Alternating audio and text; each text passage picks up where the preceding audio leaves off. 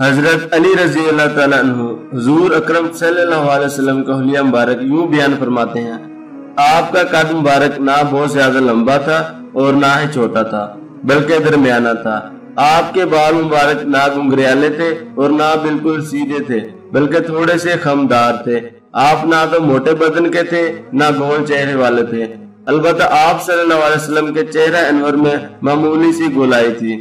رنگ سفید، سرخی مائل تھا، آنکھیں نہایت سیاہ تھی، پلکیں دراز اور جوڑوں کی ہڈیاں موٹی تھی ایسے ہی دونوں کندوں کے درمیان جگہ بھی موٹی اور پرگوشت تھی۔ بدن مبارک پر زائد بال نہیں تھے اور سینے سے ناف تک بالوں کی لکیر تھی۔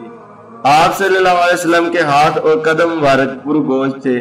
جب چلتے تو قدموں کو پوری قوت سے اٹھاتے کوئی پستی کی طرف اتر رہے ہیں۔ جب کسی کی طرف متوجہ ہوتے تو مکمل طور پر متوجہ ہوتے۔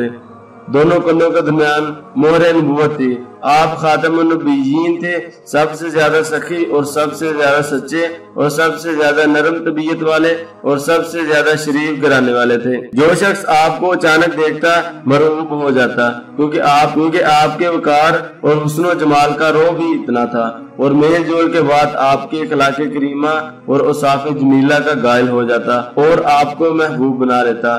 آپ صلی اللہ علیہ وسلم کا حلیہ بیان کرنے والا بس یہی کہہ سکتا ہے۔ نہ تو آپ صلی اللہ علیہ وسلم سے پہلے آپ جیسا دیکھا اور نہ ہی بعد میں۔ ویڈیو پسند آئی تو ہمارے اس ویڈیو کو لائک کریں اور ہمارے چینل حسن ڈاک کو سبسکرائب کریں۔